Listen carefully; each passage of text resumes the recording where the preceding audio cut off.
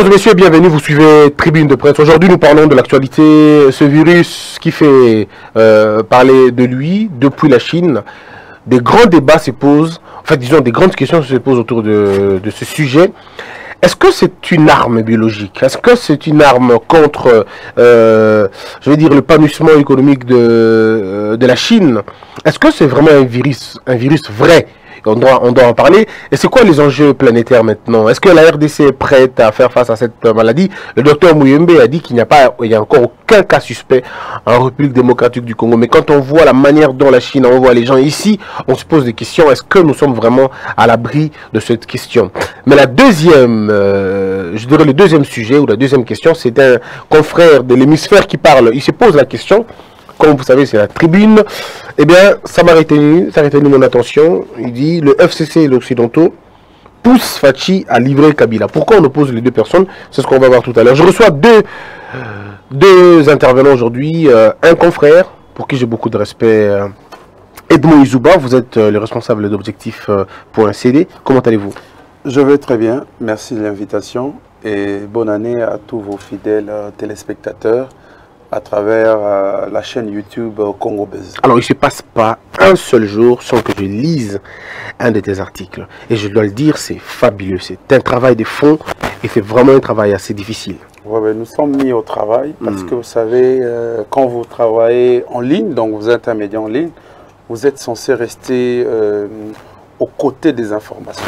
Donc, cela nous amène voir à des heures tardives, rester devant euh, l'écran de son téléphone en mm. train de pianoter euh, ou soit devant la machine. C'est un travail des fois qui nous oblige et nous impose de nuit blanche et nous nous sommes euh, très vite habitués et nous nous essayons de nous adapter. Nous avons des problèmes avec nos amis, Perrault Loara et, et Peter Tiani, interpellés par la police et relâchés tout de suite, mais c'était pratiquement une heure. Est-ce que vous pensez que c'est une menace à la liberté d'expression? Oui, je l'ai dit et je l'ai eu à, les dénoncer depuis les jours où j'ai lu euh, la convocation euh, et des Peter Tiani et des Perro Louara. Vous savez, nous, nous sommes des journalistes. nous avons tout de suite enquêté et voilà pourquoi nous avons sorti les noms euh, de Gilbert Kankonde le même jour de la convocation. Et c'était lui, la personne qui voulaient euh, porter atteinte à la liberté euh, de nos confrères. Ils ont comparu parce que euh, ce ne sont pas des délinquants, ce sont des pères de famille, ce sont des journalistes responsables. Ils ont répondu à l'invitation. Domiciliés à Kinshasa, même. Oui, bien évidemment, mais en, étant, en arrivant sur place, l'audition avait déjà pris fin. Les avocats étaient donc demandés à prier, des plier bagages mais les journalistes ont été euh, maintenus et leur liberté euh, durant, je dirais, 6 heures ou 7 heures du temps hum, n'était plus euh, à leur disposition, voire même pour le petit ou le simple besoin d'aller se soulager, c'était compliqué. Il fallait se faire amener d'un vigile. Donc nous avons eu à dénoncer et les échos sont venus de partout. Voilà pourquoi on a exercé une pression vraiment assez additionnelle. Ça a été bien parce que quand j'ai suivi la voix de, Peter euh, à la radio et puis euh, c'est celle de Perrault, je me rends compte que c'est des gens frustrés un peu. Ils étaient frustrés par cette, par cette attitude, je vais dire, sauvage. Et puis après, ils ont reconnu que ah, dans les temps passés, en tout cas, ils seraient partis. Hein. Si on était à l'époque, euh, dans l'ancien temps, je crois qu'ils seraient partis. Oui.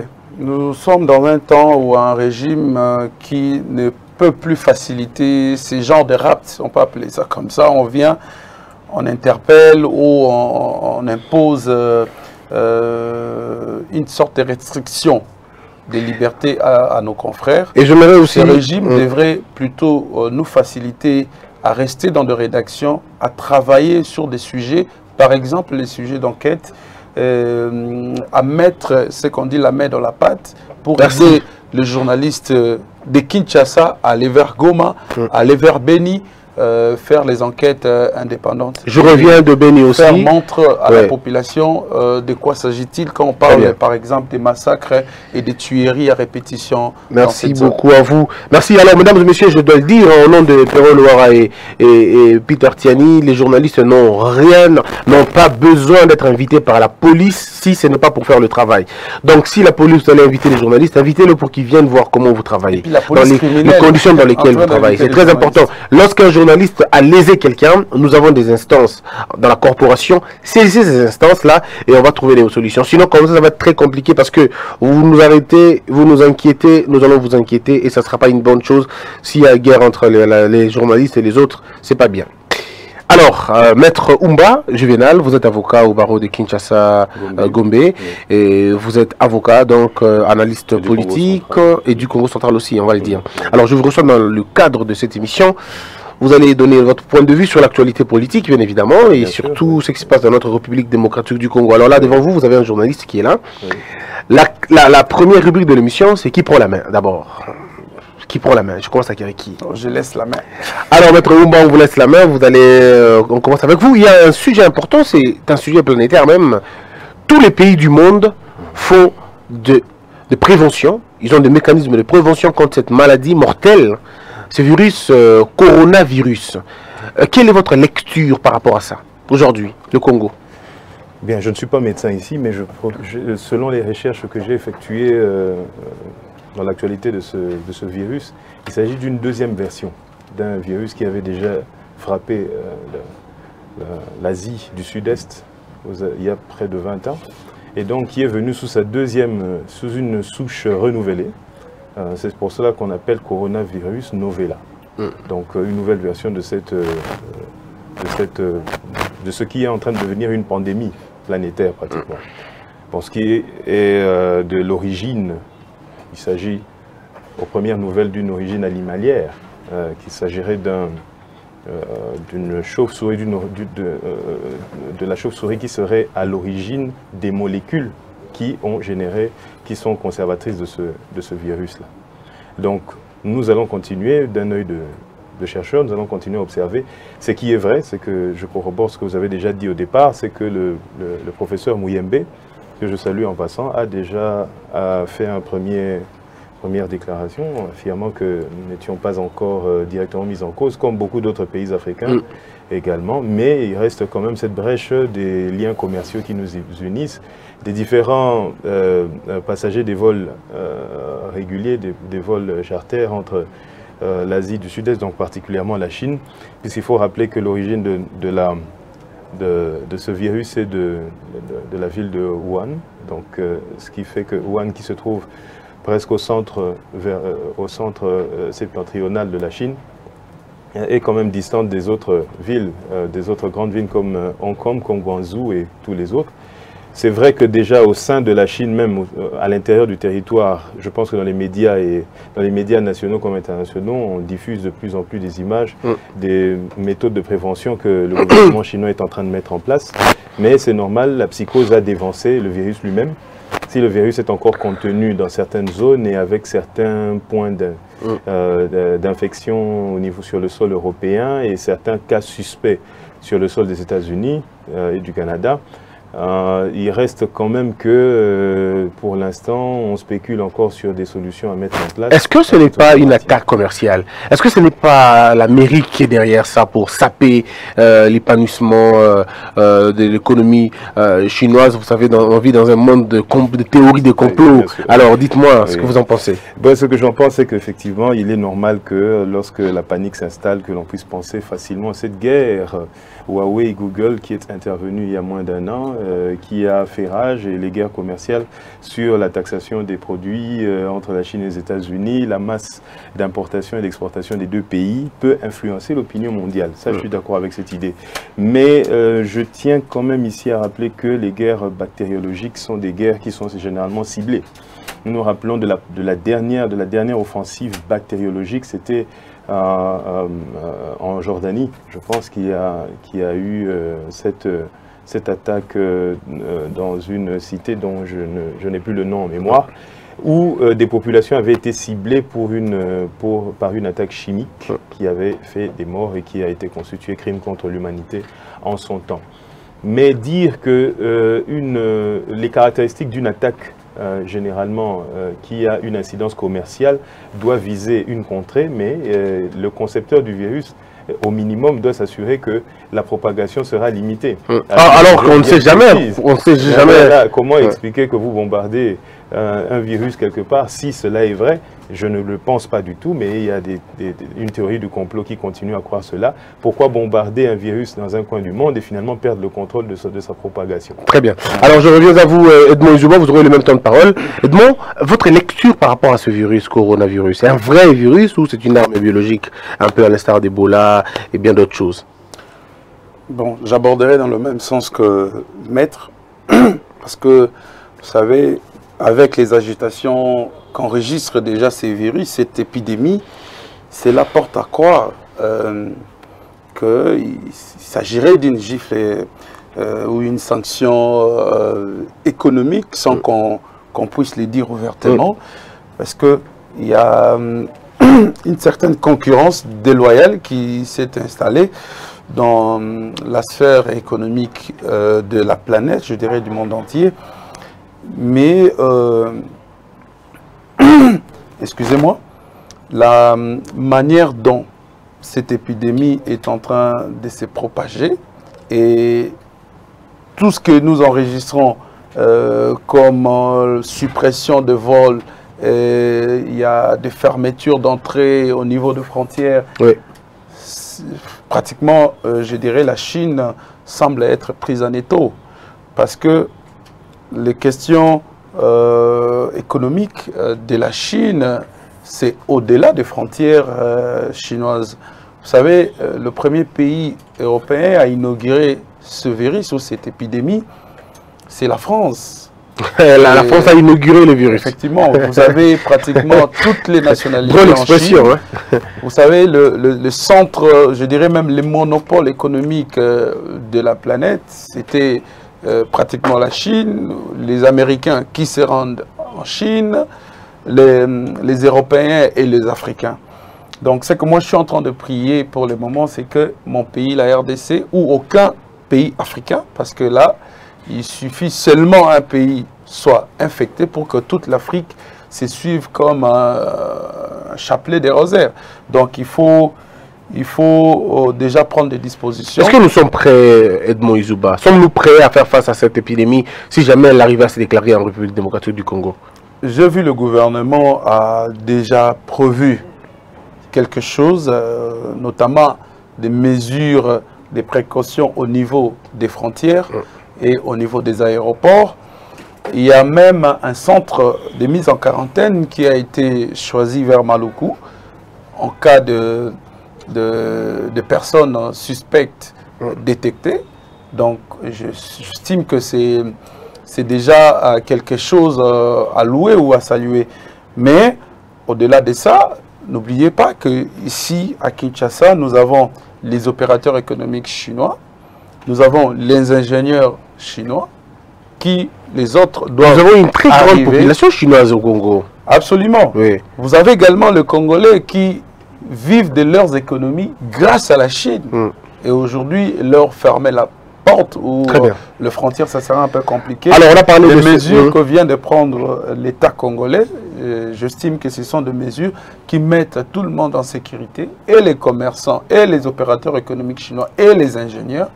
Comme ça, une fois les, les appareils, parce qu'il faut des outils euh, euh, euh, des derniers cris, c'est que la RDC ne possède pas pour le moment. Donc notre, notre IR, IRNV INRB.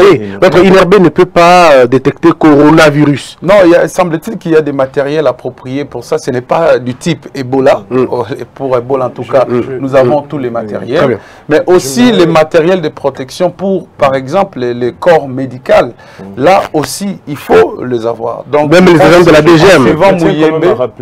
Mouyembe, oui. a dit qu'il faudrait... Euh, ils ont lancé déjà euh, des bons de commande, des achats. Donc euh, bientôt ça va arriver. Très bien. Et, on va prendre la parole, vous allez prendre la parole, Maître Oumba, et puis on va terminer, on va prendre un autre dossier. Oui, j'aimerais quand même revenir sur ce, point. J'ai l'impression et la sensation qu'on veut faire de cette crise une insuffisance gouvernementale. Non. Nous avons vu beaucoup de virus à travers le monde qui se sont propagés. Il ne s'agit pas d'un déficit. Il s'agit, euh, lorsqu'un virus est déclaré pandémique, c'est l'OMS qui déclare cela et avec euh, les spécifications en rappelant que chaque virus a une spécificité euh, moléculaire bien déterminée. On ne peut pas dire que d'avance qu'on a l'équipement nécessaire adapté à un virus bien déterminé. Je vais vous mettre devant un, fait accompli. Il y a une délégation européenne qui est partie il y a moins d'une semaine en Chine, une délégation mixte, euh, mixte entre plusieurs pays d'Europe, l'Allemagne et la France en tête de pont, pour aller justement prendre, euh, euh, apprendre sur les mises à jour, les dernières mises à jour d'équipements de protection et de prévention de cette maladie. Donc il n'y a jamais eu un pays qui, à travers le monde, possède d'avance tous les équipements nécessaires. Pour un virus qu'il ne connaît pas. ne connaît pas encore. C'est totalement absurde. Donc la RDC aussi fait partie de ce genre de Très bien. Mesdames et messieurs, nous, nous prenons le deuxième cas et je vous invite à faire le débat sur le social de Congolais. Voilà, un exemple simple. 2019, le prix de, de, de, de, haricots, par exemple, je l'ai fait dans une tribune ce matin, coûtait 1500.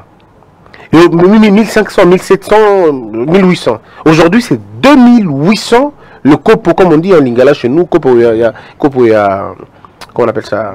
Le Et le riz a grimpé de prix.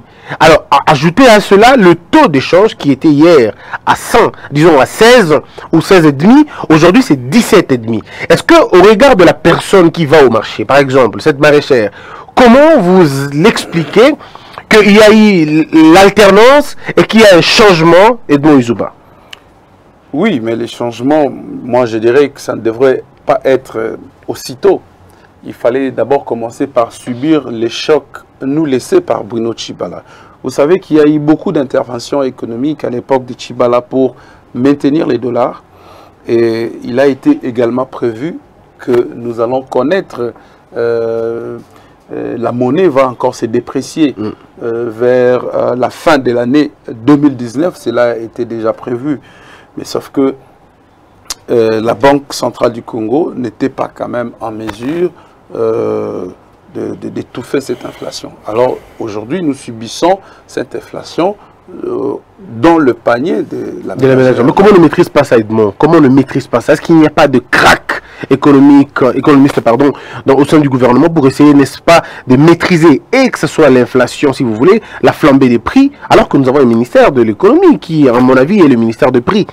Oui, absolument. Il faut, il faut le maîtriser. Je pense que euh, quand il y a eu changement, ce qui n'a pas eu à faciliter cela, mise en place du gouvernement. Je pense qu'actuellement, le gouvernement est en train de travailler parce qu'on doit rappeler aux Congolais que chaque jour, au moins, il se tient euh, au bâtiment euh, du Premier ministre une réunion. Des rencontres, Non, des rencontres, hmm. des rencontres basées sur des recettes.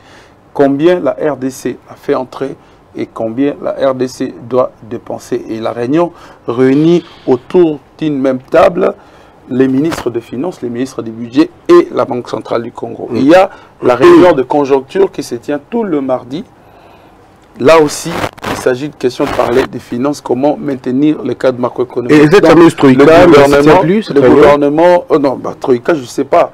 Mais euh, sauf que j'ai constaté que euh, notre vieux euh, Ilunga Ilunkamba, il, il, bosse quand même. Hein, chez chaque jour, qui a au moins Vous pas de Premier ministre oui, notre Premier ministre. Que vous appelez vieux. Vieux, bon. D'accord. On a minimisé euh, son âge. Euh, voilà, euh, voilà, un vieux qui ne pourra peut-être pas travailler aujourd'hui. Je crois que lui-même a fait des efforts pour capitaliser son âge. C'est quelqu'un que moi j'ai rencontré qui n'a pas vraiment de défis matériels. Il a les défis de changer ses pays. Il n'a pas besoin de faire la publicité sur les actions qu'il est en train de faire pour son propre pays. Mais pour lui, il préférait que les effets mm. de ce qu'il fait comme travail mm. soient ressentis dans, au panier euh, de la, ménagère. Donc, donc, le gouvernement y travaille déjà. Très bien. C'est tout à fait regrettable mm. qu'aujourd'hui, l'alternance arrive et que le peuple subit Mais c'est une souffrance qui, Passagère, qui va pourra- passer rapidement. ne pourra pas prendre plus d'une année. Et quand euh, des solutions idoines seront trouvées, je crois que cette année, tout sera maîtrisé et cela pourra faciliter à ce que un fonctionnaire de l'État ou euh, sa femme puisse avoir accès. euh, Merci. voilà. Alors, Maître Oumba, la grande question est celle-là. hein. On ne sent pas hein, dans le panier de la ménagère un changement. Euh, la pompe, au niveau de la pompe, ça a changé. Il y a quand même assez de, des. On, a augmenté le prix. De l'autre côté, les frais des étudiants qui passent de 260 quelques mille francs à 400 et quelques mille francs. On se pose des questions. Est-ce que tout ça repose sur la tête de qui à la fin? Oui, mais il s'agit d'une gestion gouvernementale au jour les jours. Vous savez, tout ce que vous êtes en train de dire, ça revient au principe économique de la balance qu'il y a entre les importations, qui sont, qui sont en fait le nœud même de l'économie congolaise. Nous sommes extravertis, nous ne produisons pas. Ça a déjà été dit à plusieurs reprises par d'autres experts, par des experts mieux, mieux outillés que moi en matière économique. Je ne viens pas ici pour euh, les contredire. Ce sont les mêmes causes qui produisent les mêmes effets. Donc dire que, bon, écoutez, je suis d'accord sur le fait qu'un gouvernement, ça se réunit tout le temps. hein. Un Premier ministre, il appelle ses collaborateurs tout le temps. Il n'y a rien de particulier, je ne trouve rien de particulier, rien de vraiment émouvant à dire que le Premier ministre a réuni tous les lundis ou les mardis. Il pourrait même les réunir tous les jours. S'il n'y a pas d'incidence réelle sur le panier de la ménagère tel que Christian vient de le dire, moi je ne vois pas très bien l'importance de les réunir tout le temps. Donc le plus important pour moi, je crois que c'est le résultat et je crois que le, le- le signe même de l'action que le chef de l'État a placé, c'est action. Donc action veut dire euh, manifestation réelle, physique. Mais est-ce que nous le sentons aujourd'hui? Justement, on ne le sent pas. Jusque, jusque là, non. Je suis même euh, un peu outré que euh, certains, certaines questions soient venues sur la table, euh, se soient improvisées. J'ai entendu un ministre des Finances dire et déclarer devant la télévision qu'il y avait des, questions prioritaires, qu'il y avait des dépenses prioritaires, qu'il appelait prioritaires. Justement, où sont ces dépenses prioritaires et euh, à quelle hauteur elles sont réglées pour régler justement la question des importations? Parce que notre économie étant absolument dépendant des importateurs, lorsque ces importateurs qui sont essentiellement étrangers euh, se réunissent quelque part et estiment qu'il n'y a pas, pas d'assurance, que la situation politique ne les plaît peut-être pas dans une certaine mesure, eh bien, ils bloquent l'activité économique. Et le pays, justement, dépend étroitement et dépend même un peu trop de ces personnes-là. Donc je pense que euh, la promesse du chef de l'État, moi je reviens encore sur la pro- la promesse du chef de l'État, il faut faire des Congolais riches, il faut faire des Congolais entrepreneurs qui fassent éviter justement au gouvernement de se réunir inutilement pour presque supplier des importateurs pour réglementer ce prix, puisque la réglementation des prix est, un- est une matière de droit qui fonctionne en fonction de l'impact de l'administration. On a une administration un peu limitée dans notre pays. On ne contrôle pas beaucoup de paramètres économiques et c'est la raison pour laquelle, malheureusement, nous nous retrouvons à perdre le contrôle du prix. Ne nous racontez pas une histoire de gouvernement. Là, le problème, c'est des services publics qui fonctionnent. Comme, on n'a pas de service public au, ni- au ministère de l'économie, il y a beaucoup de services. Il y a plusieurs services sein- qui dépendent du secrétariat général ou même du bureau du ministre lui-même, mais qui ne sont pas opérationnels. Pourquoi? Parce que la gestion du personnel déconne. Parce que malheureusement, les, fo- les fonctionnaires ne sont pas encore suffisamment motivés. Et donc, ces personnes, qui, ces agents qui doivent descendre sur le terrain et réglementer le prix des achats et de vente des marchandises sur le marché congolais, ben, préfèrent tout simplement passer par d'autres moyens de survie au lieu de faire leur travail. Donc je voudrais que l'on puisse penser un peu à autre chose pour une fois, plutôt que de penser aux activités du bureau du Premier ministre. Il fait son travail au niveau du gouvernement, mais l'inc- l'incidence sur le marché financier est tout autre. Alors je vous relance. Oui. Comment vous expliquez au Congo que nous soyons en pénurie d'haricots, en pénurie de riz, alors que nous avons 80 millions de terres arables Est-ce que c'est le modèle politique qui a échoué? Est-ce que c'est le modèle commercial que nous avons choisi qui a, échoué et que nous continuons quand même à le garder? Parce que il vous avez fait le droit, vous connaissez, vous êtes avocat, j'ai déjà allé dire, donc vous connaissez la législation euh, économique qu'on a tous apprise quand on était encore à l'école, disons à l'école de droit. On parle de, de- de- de- de- des ententes illicites et de la, de la rétention de stock, mais c'est une pratique qui est devenue aujourd'hui courante en République démocratique du Congo, où les Libanais s'entendent et freinent les riz, ils disent on ne va pas donner les riz maintenant, il y a une sorte de carence dans la population, et ils envoient les riz, ils, font spéculer les prix. Quel est cet organe qui est l'habilité à réglementer ces secteurs et remettre de l'ordre? Est-ce que vous avez l'impression que c'est fait? Non, il y a plusieurs questions dans, dans, votre intervention. Je sens vraiment beaucoup de curiosité. Ça va prendre beaucoup plus de temps pour expliquer ce problème. La réglementation de prix, comme je le disais tantôt, souffre dans notre pays à cause de deux facteurs. un qui génère l'autre. La réglementation des prix ne fonctionne pas parce que le cartel, j'appelle le cartel du mal économique congolais, c'est l'ensemble de tous ces, ces expatriés qui étaient venus à l'époque depuis près de 30-40 ans, qui se sont installés ici, et même plus encore, et dont les enfants continuent à assurer la relève de ses parents. Donc ce cartel est devenu tellement solide dans notre pays qu'on en parle très peu. C'est ce cartel de ces, expatriés qui fonctionne en parallèle de l'État. Ça veut dire organise en quelque sorte la, rétention, comme vous avez dit, la rétention des stocks, c'est une des manières, c'est une des stratégies. Il y en a plusieurs. Il y en a plusieurs. Et qui font que... les ententes illicites et bien d'autres. Beaucoup d'autres. Mm. Donc c'est ce cartel-là qui euh, ne euh, tait son nom, mais qui en fait influe de manière majeure sur le fonctionnement de notre système, étatique. Et ça, c'est très dangereux. Moi, je pense que le gouvernement doit vraiment s'attarder sur ça. Et je crois que le président avait été visionnaire en ça, en disant qu'il faut créer des Congolais euh, riches, je crois, de 200 euh, Congolais euh, qui, soient, qui, fassent face à cela. Mais malheureusement, on a fait, la Deuxième République a fait l'apologie d'une seule personne. Malheureusement, nous avons raté le train, et je répète à plusieurs personnes, nous avons raté le train des grands investisseurs. Nous avons eu des Congolais qui ont été parmi les premiers banquiers du continent africain. Nous avons eu des Congolais qui ont, qui ont investi dans je ne sais combien de secteurs. Mais à chaque fois qu'un Congolais cherchait à émerger, à chaque fois qu'un Congolais montait, dépassait le seuil d'une certaine fortune, ça posait des problèmes aux dirigeants. Il devenait une menace. Il devenait une menace. Alors qu'en réalité, aujourd'hui, nous réalisons bien pourquoi il fallait, depuis cette époque-là, favoriser la fortune congolaise, favoriser l'entrepreneuriat congolais pour lutter justement contre ce genre de situation. Puisqu'un Congolais, on pourrait s'entendre, discuter et voir comment régler la situation. Mais avec un expatrié, les critères sont beaucoup plus élevés. Je reviens à vous, maître euh, Oumba. Je voudrais que vous puissiez prendre la question, vous notez la question que je vous la poserai à vous-même. Et si j'oublie, vous allez me le rappeler. Comment faire naître le patriotisme commercial, le patriotisme économique et même le patriotisme fiscal qui peuvent nous aider à avancer? Alors vous, euh, Edmond, Edmond, comment vous pouvez imaginer dans un pays qu'on soit fier que Ahmed Achou, je ne sais pas si vous le connaissez, bon, je ne cite pas mal, hein, Comment on peut être fier que ce soit Ahmed Achour qui soit l'homme le plus riche du Congo, un exemple comme ça. Comment ça vous fait plaisir que ce soit un monsieur, par exemple, euh, Karl Hendricks, que ce soit lui le plus riche des Congolais, que nous ayons peut-être quelqu'un comme Mayombo, je fonde de nom, comme Izuba, comme euh, Bosembe, comme Umba Pourquoi ne sommes-nous pas fiers que ce soit nos frères qui deviennent les plus riches et qui détiennent les richesses réelles du pays? Est-ce que vous pensez que c'était un, modèle euh, congolais qui a échoué, tout simplement un complexe identitaire? Merci beaucoup de la question, mais je dois aussi préciser une chose, euh, mm. euh, que Abed Achour, peut-être que parce qu'il est connu, il est assez visible, euh, ne dépasse pas beaucoup de Congolais que je rien contre lui, hein, pas du tout. Oui, absolument, ne dépasse pas beaucoup de Congolais que moi je connais.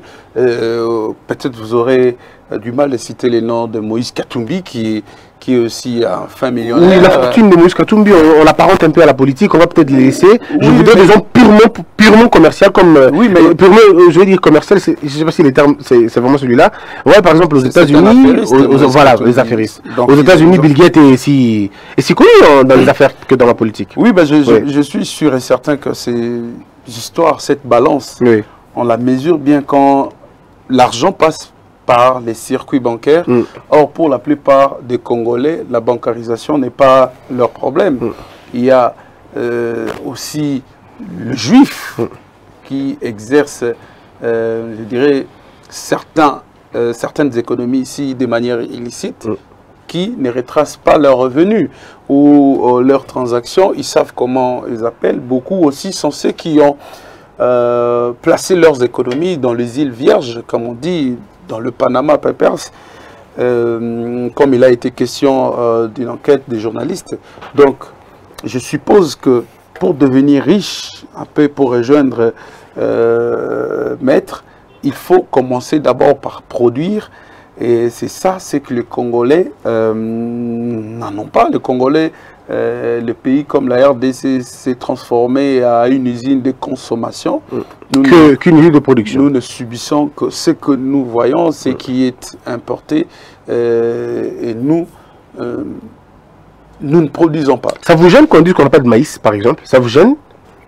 Non, mais comment, vous, ça, la réalité. comment vous expliquez C'est ça la réalité. Pas de maïs C'est ça la réalité. C'est parce que nous avons connu euh, des gouvernements qui n'ont pas eu le temps de placer sur la question ou carrément capables euh, d'affreindre euh, d'interdire à certains économistes ou euh, certains opérateurs économiques véreux d'utiliser à bien leur, leur richesse. Donc aujourd'hui, nous sommes en, train de combattre, comme le, le président avait dit à, l'époque, les richesses. Donc il faut combattre les mauvaises richesses pour permettre à ce que les Congolais investissent aussi, qu'il y ait beaucoup de production dans le pays euh, pour euh, essayer de, comment de mesurer la balance et permettre à ce que euh, nous puissions, soit l'État congolais, imposer aussi ses prix.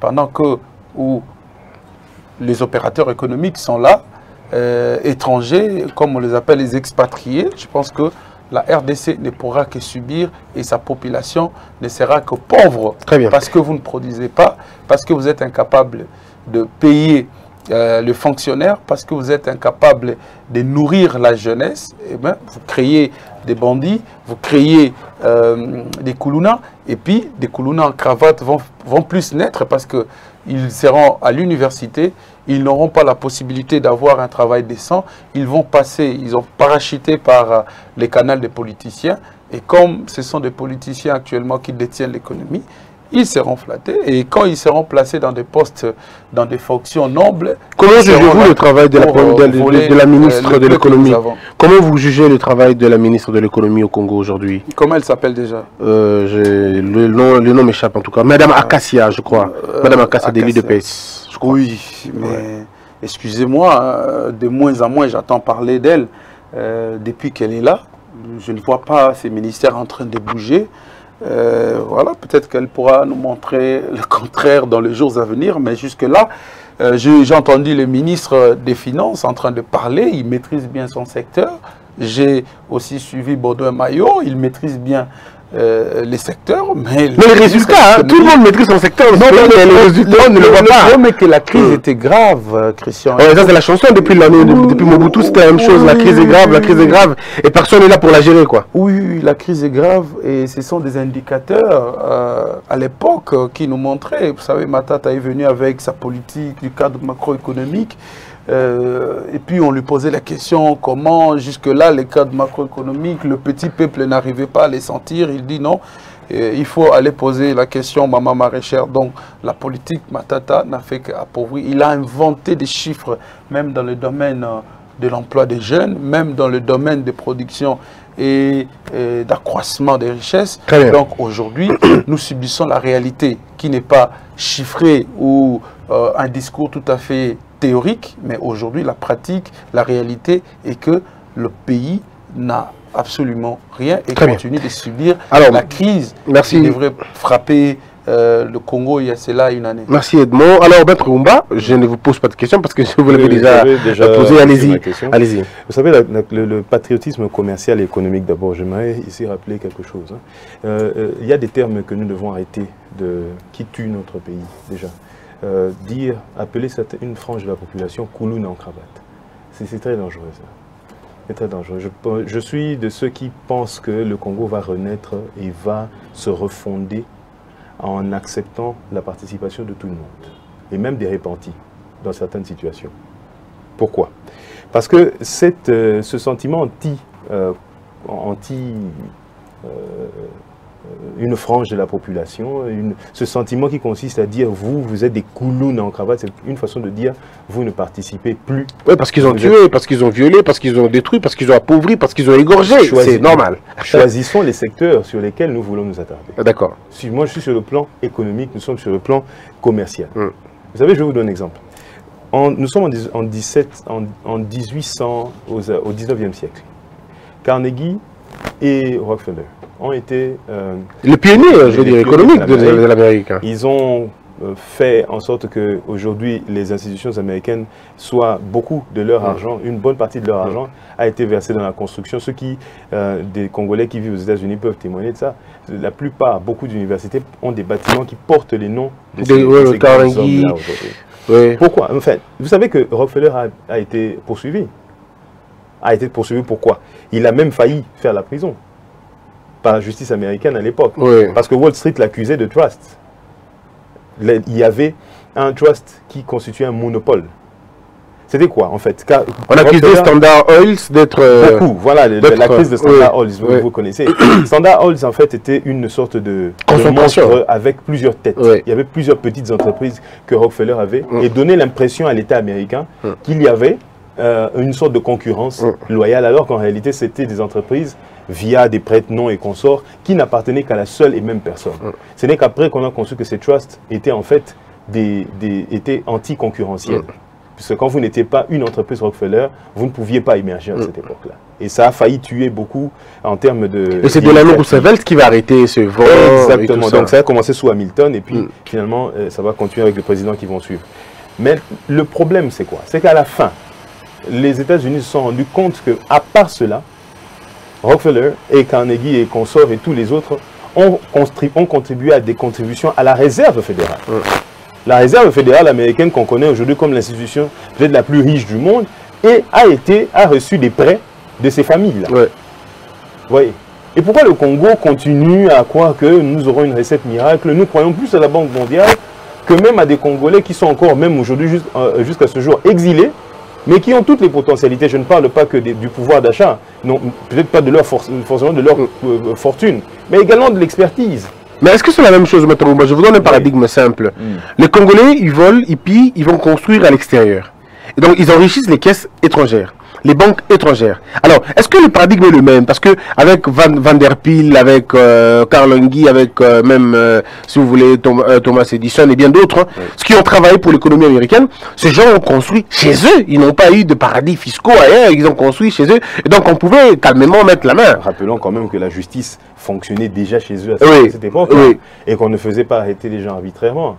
Moi, mon problème, c'est que le Congo doit, devenir attractif. Mm. Ça veut dire que nous devons passer de ce stade rudimentaire qui consiste à dire euh, ça, c'est un camp politique qui arrive aujourd'hui, chasse l'autre, et les autres vont ailleurs, ils se, euh, ils se, reconstituent, se réorganisent, veulent revenir de force. Ça, c'est un mauvais Congo qu'on est en train de mm. faire. Mm. Le bon Congo, c'est celui qui consiste à dire nous créons des institutions qui peuvent nous permettre de faire couler les, institutions, de telle façon que les hommes peuvent passer, mais les Congolais restent d'abord chez eux. Et ça va tuer ce sentiment-là.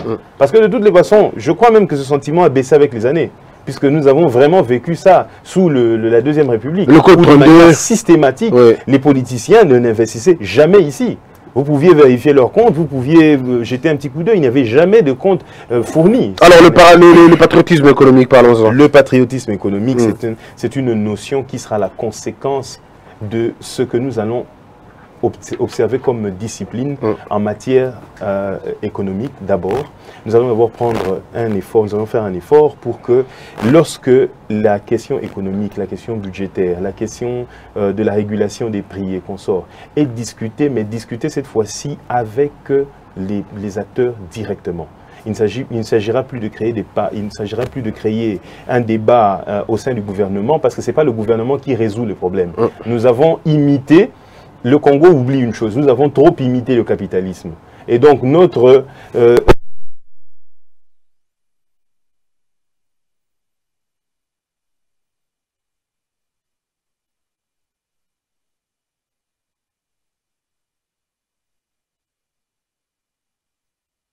pour voir dans quelle mesure, ensemble, on pourrait trouver, discuter de quel... Il n'y a pas de symposium en RDC, on ne discute pas de ces, matières-là.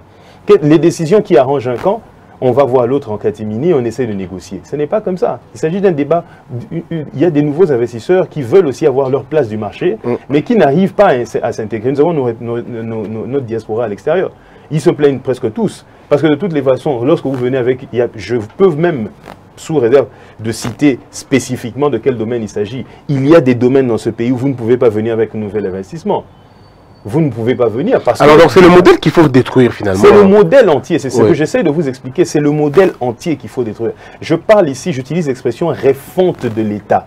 Ça veut dire qu'il y, y, a un système qui a été semi-colonialiste que nous avons gardé jusqu'aujourd'hui, puisque beaucoup des textes, étant juriste, je sais que beaucoup des textes sont nés de, cette, de, cette, de ce vent colonialiste que nous gardons encore 60 ans plus tard.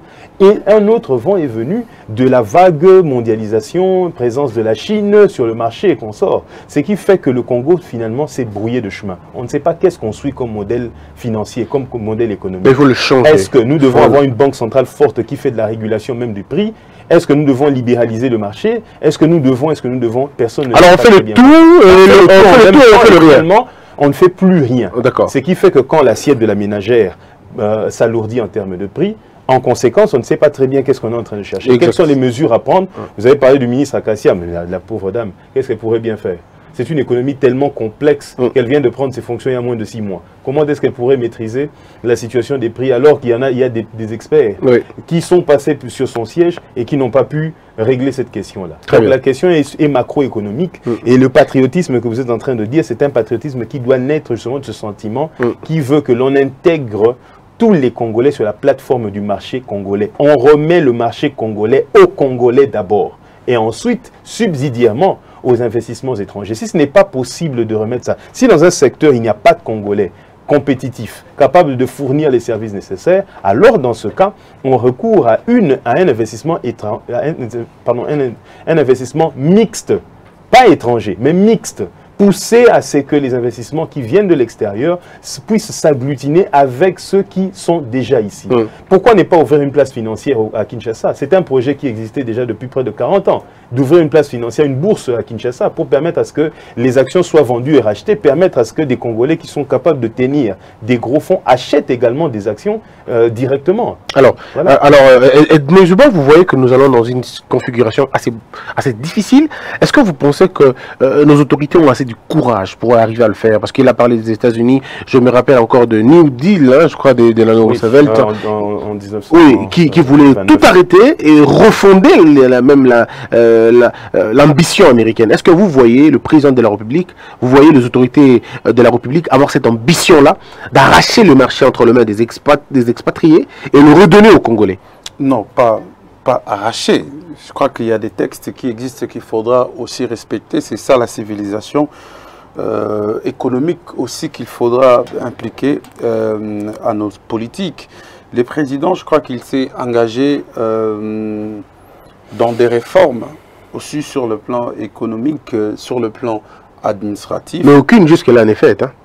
Non, mais le Parlement doit s'y atteler. Il y a euh, le gouvernement qui est déjà mis en place. Je crois qu'il y a des projets euh, de loi du gouvernement qui doivent bientôt atterrir euh, sur la table des Mabunda pour essayer d'en discuter dans l'Assemblée nationale. Donc, nous avons subi, je, répète, des réformes systémiques qui n'ont pas beaucoup aidé le pays à avancer. Il faut mener des réformes qui vont faciliter à ce que ce qu'il y aura comme acquis ou ce qu'un régime aura laissé soit euh, continuel, un peu comme euh, euh, ça se passe dans des pays des grandes démocraties. Donc ici, notre économie a été déficitaire des humeurs des acteurs politiques, des régimes quelconques. Et aujourd'hui, je crois que les soucis du chef de l'État qui a renoué avec les institutions de Bretton Woods, vous savez, moi j'ai suivi les grands économistes euh, de ce pays qui demandaient à ce que ce pays soit euh, déclaré en faillite pour que les institutions de Bretton Woods arrivent euh, et recadrent certaines choses. Alors, c'était pratiquement le cas à, l'arrivée de, de, de, Félix Tshisekedi et aujourd'hui, je crois que les relations sont bonnes entre ces institutions. Beaucoup de choses vont améliorer, comme l'a annoncé euh, Christine Lagarde, euh, euh, les responsables de la Banque mondiale FMI. Et aussi, j'ai suivi la déclaration des associations des banques en République démocratique du Congo qui ont aussi annoncé des signaux positifs donc, en cette année. Donc, il faut, il faut s'y attendre. Ce ne sont pas des choses qui changeront, comme on dit, euh, avec euh, un coup de baguette magique. Il faut donner du temps. Euh, le pouvoir est là. Le pouvoir est en train de réfléchir. Il y aura des jalons qui seront posés. Vous n'allez pas me dire que Félix Tshisekedi, tout en étant opposant, connaissait bien le problème de ce pays. Je crois qu'il a découvert certaines réalités qu'il ne connaissait pas, qu'il ignorait. Et je crois que les experts aussi travaillent, les ministres travaillent. Les chercheurs aussi continuent de travailler. Alors, il ne reste plus que 15 minutes pour terminer ce débat. pays à sortir de l'ornière. Il y a deux thèmes qu'on va prendre. Vous avez l'attitude de revenir sur ce que l'un de de co-débatteurs a pu dire. Vous avez quelque chose à, oui, Oui, c'est-à-dire que je, je, tiens ici à rappeler que le FMI et la Banque mondiale, donc la Banque mondiale qui en fait à l'intérieur de sa structure comporte le FMI d'une part et la BIAT de l'autre part, sont des banques. Et quand une banque vous prête de l'argent, elle ne vous enrichit pas. Quand une banque vous prête de l'argent, elle vous permet de, de, de, renflouer votre fonds de roulement. Vous permettre de toucher à certains secteurs essentiels qui peuvent booster votre économie. Donc je suis outré de, de, de que certaines personnes, certains acteurs euh, et particulièrement euh, ceux qui ont travaillé dans l'ancien régime, qui continuent à, développer cette théorie-là, euh, absolument absurde de croire que la confiance avec la Banque mondiale est la baguette magique qui va relancer notre économie. Non. Revenons à la première visite du chef de l'État aux États-Unis lors de son, après son investiture. L'idée, c'était de permettre à ce que certains, certains domaines majeurs, donc certains secteurs prioritaires du pays soient financés, puisque les caisses de l'État, donc l'état des finances de la, de la République ne permettait pas de couvrir certains domaines prioritaires. Donc, à vision, avec une vision à long terme, il fallait, c'est pour cela qu'il a reboosté euh, cette question de la gratuité de l'enseignement, c'était justement pour assurer une certaine stabilité en cette matière-là, puisque la situation socio-sociale sociale du pays devenait catastrophique en termes d'éducation. Il s'est penché sur les questions euh, d'institutions hospitalières. Donc des, projets comme ça qui, à, moyen terme, donc à court et à moyen terme, peuvent permettre un résultat direct.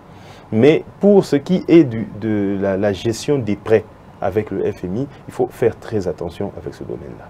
La, la, Banque mondiale, comme certains présidents l'ont déjà reconnu, de, plusieurs pays à, à travers l'Afrique, qui ont déjà fait des déclarations là-dessus, disant expressis verbis que la, Banque mondiale n'a jamais enrichi un pays. Vous ne produisez pas. Et encore que quand bien même vous produisez, vous risquez d'être au service de la dette, prendre tous les profits que vous générez de votre économie pour reverser ça. Puisque plus une banque constate, c'est le principe, c'est que plus une banque vous finance, finance euh, euh, et se rend compte que vous êtes rentable, plus elle vous prête. Et quand vous vous, vous laissez aller à la chaîne des prêts, vous vous retrouvez à un certain moment ou lorsqu'il y a la moindre spéculation et que vous chutez, c'est votre dette qui monte.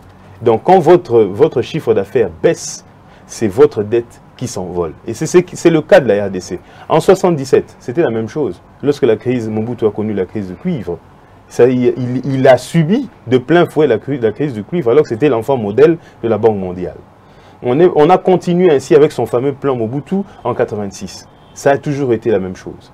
Toujours, au moment où le pays croit prendre des ailes, à un moment donné, il y a une sorte de spéculation sur le cuivre ou sur les matières premières à Londres ou à New York, et le pays retombe encore dans une dette, et ainsi de suite. Donc, c'est la raison pour laquelle je plaide ici, sur ce plateau de télévision, pour que l'économie, enfin la politique congolaise favorise les investissements congolais, qu'on cesse d'harceler nos investisseurs, qu'on cesse de, les mettre, de leur mettre des bâtons dans les roues, qu'on cesse, qu'on protège les Congolais contre l'assaut monopolistique de ceux qui se sont de ces Libanais. Je ne suis pas contre... Expliquez, expliquez, expliquez le terme. Il est, il est savant. Oui, bon, enfin, c'est simplement pour dire ceci. C'est qu'il y a une sorte d'hégémonie qui s'est déjà installé au pays. On n'en parle pas beaucoup, mais dans certains... Déjà, l'hégémonie, c'est quand même pas facile, mais on va quand même y aller. Suprématie, vous voulez dire Une sorte de suprématie où les investissements... Le pays dépend essentiellement des importations, je l'ai dit au départ. Mais quel type d'importation? Importation fait par qui? Mais c'est fait par des étrangers, généralement. Et vous le savez, je ne veux pas citer des entreprises ici, qui sont expertes dans l'importation des produits vivriers. Donc le pays mange, boit, importation, détenus par les étrangers. Alors que, alors que nous nous sommes incapables de produire ici et nous autosatisfaire de façon alimentaire. Même si nous n'avons pas encore atteint le stade de la production interne, mais ne fût-ce que l'importation, mais par des Congolais d'abord. On ne peut pas se permettre de déposer notre économie, la survie de notre pays. C'est la raison pour laquelle finalement nous exposons même euh, les services aux frontières. Parce que quand il s'agit d'un investisseur étranger qui vient dans votre pays, le premier profit, non seulement qu'il vient pour le profit, parce que tout celui qui fait de l'entreprise euh, euh, cherche le profit d'abord au départ, mais il vient avec un sentiment d'exploitation à la différence du national. Ça veut dire de l'investisseur national qui vient avec un sentiment de profit, mais aussi un sentiment de patriotisme. Il y a une différence. Parce que, à croire euh, certaines, personnes, il y a des gens qui ont tendance à croire que euh, lorsque l'on favorise les Congolais, écoutez, il y aura des stabilisations de, de certains pensent là que plus les Congolais auront de l'argent entre les mains, ce sera la déstabilisation de certaines personnes. C'est une vieille pensée. C'est une vieille pensée qui visait à protéger un régime politique à une époque et ce régime politique n'existe plus. Maintenant, c'est le moment de la globalisation de, notre économie à travers des Congolais simplement. Alors, vous avez quelque chose à dire? Oui, je vois que Maître, il est trop vraiment futuriste quand il, prévoit... Il n'est pas pragmatique. Il, il faut faciliter. Oui, ben ça c'est ça, c'est ce qu'on appelle l'idéal, c'est des facilités. Pourtant, les autres ont fait ça. Les autres ont fait ça. À quel L'Amérique est Amérique. À parce quel que... coût Parce que la RDC a combien? Ici, je crois que le souci euh, des autorités en place, c'est de chercher à couvrir, à chercher un matelas financier qui pourra permettre le pays à revenir. Mais le modèle qu'ils suivent, est-ce que c'est le modèle qui va leur permettre d'arriver à ce Ne vous en faites pas. Il y aura, il y aura un moment où la RDC va tirer son indépendance sur le plan économique. mais il faut d'abord commencer par ce que vous avez. Il y a le conseiller spécial en matière de lutte contre la, corruption ah, et le blanchiment des capitaux de l'époque de Kabila, qui avait fait des déclarations du genre on perdait dans 15 milliards de dollars. Voilà pourquoi le chef de l'État a voulu renforcer les contrôles pour d'abord récupérer ce que nous avons. Entre les mains de qui Parce que généralement, c'est les mêmes personnes. Entre, entre les mains de qui? Hmm. Entre le main, justement, de, de, de ces receveurs, de, de, comment on les appelle, les gens qui partent pour recouvrir, euh, ou pour recouvrer, je crois, recouvrer, le, le, le recette auprès euh, euh, euh, euh, des entités euh, qui sont redevables à l'État. C'est santé. Les, Mais le pain que vous mangez, c'est les expatriés qui vous le donnent. Les habits, vous tel que vous êtes là, tout ce que vous avez mis aujourd'hui, et ce que moi j'ai mis aujourd'hui, ça vient de l'étranger. Est-ce que nous ne sommes pas fiers que nous avons les textiles chez nous? Mais, nous n'arrivons pas à nous habiller textiles congolais. Oui, je, je, suis tout à fait C'est ça le problème. Nous avons beaucoup de choses à produire, mais pour créer des investissements congolais, il faut mettre des moyens. Et je vous dis que ces moyens-là, la RDC n'en a pas pour le moment. Alors ce que la RDC peut faire, c'est de renforcer les contrôles, de renforcer la sécurité. Regardez, je vais vous prouver une chose. Six mois passés, à la tête du ministère des Affaires foncières, aujourd'hui, les assignations faites dans un seul secteur euh, euh, euh, des affaires foncières a dépassé, pardon, les assignations placées par le gouvernement les recettes récoltées ont allé au-delà des assignations à plus de 178% dans six mois. Et si tous les secteurs essayaient de mettre euh, euh, des systèmes de contrôle assez réguliers pour que l'argent qui part dans des poches des individus, cela permet à ce que vous puissiez d'abord récupérer ce qu'il y a. Ça, ce n'est pas une invention théorique. Non, ça, c'est ça, c'est que vous avez. Vous commencez par récupérer. Et l'avenir, je suis convaincu que la venue des institutions de Bretton Woods va bannir certaines inégalités qui sont constatées même dans les circuits. Hum. Parce qu'à l'époque de Matata, c'était tout, à fait, tout à fait facile de mettre les deux mains dans le trésor pour récupérer de l'argent et aller inventer des projets, euh, euh, je dirais, euh, des éléphants blancs. Comme ça, comme on a connu Bukangalonzo, ainsi de suite. Il y a même le projet de construction du marché international de Kinshasa qui jusqu'à aujourd'hui n'a jamais eu lieu. Donc, on avait promis de construire un marché à 5 millions de dollars. On a investi, je ne sais pas, plus de 200 millions de dollars à, des, éléphants blancs qui aujourd'hui n'ont pas donné de résultats. Et si aujourd'hui les projets sont scrutés avant leur financement et les financements suivent et à la lettre, je crois que nous aurons non seulement des réalisations qui fonctionnent, mais aussi nous, ça pourra engendrer des opérateurs. Je donne la parole à votre collecteur. Des opérateurs congolais qui vont faciliter à ce que le l'économie congolaise. Je tiens Je Oui, bon. Alors, je, je- je- je rappelle aussi en même temps que le débat aujourd'hui, il est essentiellement économique. C'est pourquoi vous avez compris qu'on ne parle pas politique aujourd'hui, parce qu'il faut quand même assez faire la part des choses. Très souvent, on parle politique, alors ça ne nous avance, Bon, nous politique, pas. économique aussi. hein. Économique, c'est très important aujourd'hui. oui. Qu'est-ce que vous avez à dire? Pour, pour- D'abord, il n'y a pas, mon, mon co-débatteur dit indépendance économique de la RDC. Qui vous a dit qu'il y a une économie dans le monde qui est indépendante? Ça n'existait pas. La, la plus grande puissance du monde possède ses bons trésors en Chine. Comment vous pouvez aller déclarer qu'une économie est indépendante? Non, elle n'est pas indépendante. Il n'y a pas d'indépendance là-dessus. Le problème, c'est que le contribuable, le premier contribuable d'un pays, c'est d'abord ses propres ressortissants. Ce sont ses propres citoyens. Moi, je suis outré que l'on croit en, en ce, c'est ce fantasme de croire que la Banque mondiale, c'est pour cela que nous nous habillons de notre plus belle robe, parce que nous voulons plaire à la Banque mondiale. Mais c'est quoi ce fantasme?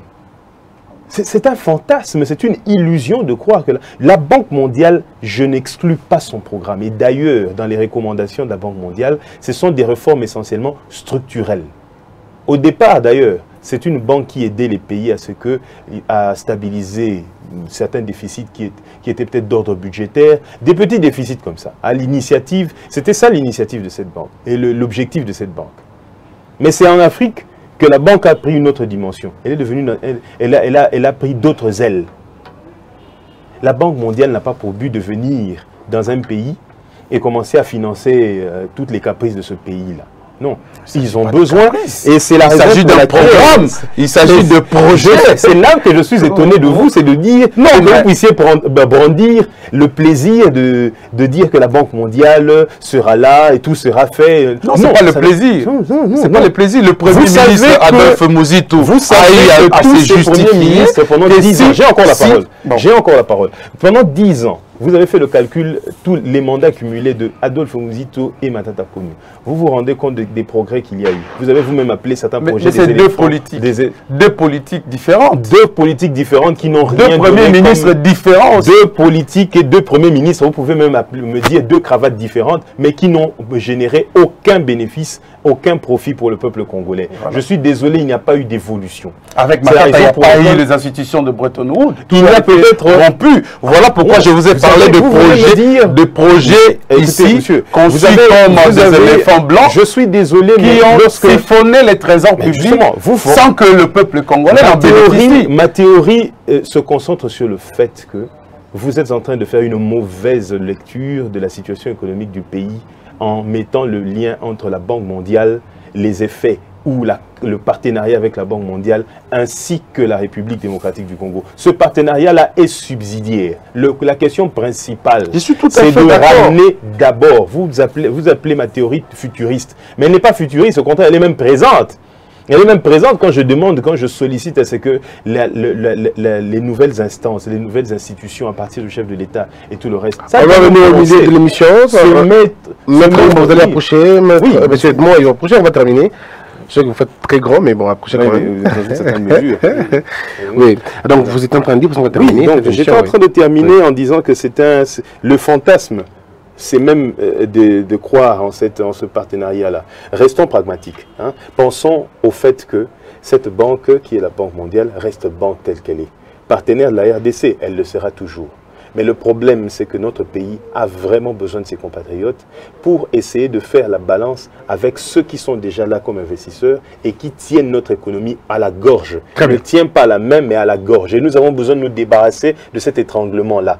Et ces investisseurs étrangers, si qui sont ici dans notre pays, s'occupent, ont pratiquement 90%, si pas 95% des importations de notre pays. Et nous avons besoin justement que, sur les 95%, soit 60 ou 65% soient retournés à des investisseurs nationaux, congolais capables de tenir et de compatir à leur pays, capables même de participer s'il y avait des, s'il y avait une campagne pour mobiliser des fonds, capables d'investir pour le développement de leur pays. Très bien. Voilà ce que je On demande. termine Je crois avec vous. qu'un Oui. État, un, un État responsable ne peut que aller euh, en ce sens-là, parce que euh, les constats est amers euh, euh, sur, sur le plan de recettes. Et vous avez entendu dans ces pays ici, il y a eu des enquêtes qui ont été faites dans plusieurs domaines, euh, principalement dans le domaine euh, économique, où les gens avaient tous les loisirs euh, de mettre les deux mains dans le trésor. Et aujourd'hui,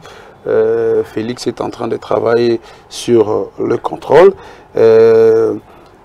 les économistes congolais aussi, je crois qu'ils sont mis à, contribution dans cette politique pour que ce pays euh, puisse sortir des lornières. Donc, on est là, euh, nous sommes là pour euh, donner nos idées. Et ça serait un grand honneur. Alors, ce que vous allez faire, vous allez regarder la caméra, vous connaissez la, la, rubrique, vous donnez vos coordonnées pour ceux qui veulent continuer le débat avec vous. Ouais. Bon, je reçois déjà beaucoup d'appels. bon, pour ceux qui voudront bien continuer le débat, avec moi ou en aparté, je n'ai qu'un seul numéro, c'est les 081 24 24 260, soit plus 243 81 24 24 260. Alors, Maître Oumba, un mot pour l'émission qui vous reçoit pour la première fois, et puis vous allez donner vos coordonnées pour euh, continuer le débat avec les, les internautes. C'est comme ça qu'on dit, non? Les internautes. Oui. Le follower, hein? Oui, le, follower. Voilà. Donc, pour moi, c'est un plaisir euh, pour, euh, enfin, d'être reçu à cette émission. J'aurais souhaité également faire plus de temps, mm. mais bon, l'émission a ses limites, a ses restrictions, donc pour moi c'est un plaisir. Je continue à, offrir ma disponibilité pour que les débats, des vrais débats de société puissent permettre à ce qu'une frange des Congolais qui continue à croire en, en, cette, en, l'évolution de ce pays, en la sortie et le sortie de crise, c'est une chose, mais développement de ce pays. Nous parlons, de moins en moins de développement. On nous, parle de stabilisation, on nous parle de paix. Mais à part la paix, au-dessus de la paix, il y a le développement, il y a la prospérité que nous sommes en train de chercher d'abord. Mm. C'est la raison pour laquelle, pour moi, je serai toujours ouvert. Et vous aurez euh, toujours les je voulais, aussi ajouter quelque chose. Ça, c'est un constat de manière générale. Quand vous regardez, notre économie est pauvre, mais quand vous suivez la vie des individus qui ont eu à travailler dans le pays. Vous dans le but de faire évoluer les gens. Vous allez voir comme ils sont plus riches que notre, économie, Très bien. qui est pauvre. ben, voilà, voilà. Pour ceux qui souhaiteraient en, euh, continuer, pérenniser le débat avec moi, je suis au 085 044 98 25. en version française 98 20, enfin, version belge. Belge. 98 25. Donc 085 044 98 25. Merci beaucoup. Mesdames et messieurs, c'était un grand plaisir. Je recevais euh, Edmond Izuba, il est le responsable d'Objectif.cd, un très grand média en ligne qui objectif donne info Objectif Info.cd, c'est ça hein? mm-hmm. Très bien. Et puis Maître Umba, vous êtes avocat au barreau de Kinshasa Gombe et du Congo central en même temps. Merci d'avoir euh, répondu à nos questions. C'était un plaisir perpétuel. Mesdames et messieurs, on se retrouve très prochainement. Portez-vous bien. Les vrais débats des sociétés, c'est ce qui, ce sont des débats qui font développer un pays. Que de rester dans les débats des gens, il a dit ceci, il a dit cela. Ça, de moins en moins, on en parlera dans Congo Buzz. Mais désormais, on a pris la décision de parler société, économie, euh, religion. Pourquoi pas parler de la science, l'académie et tout. On en parlera, mesdames et messieurs. Portez-vous bien. Que la peur quitte nos esprits et que Dieu bénisse la RDC. Merci beaucoup. Merci, je vous en prie. C'est un plaisir.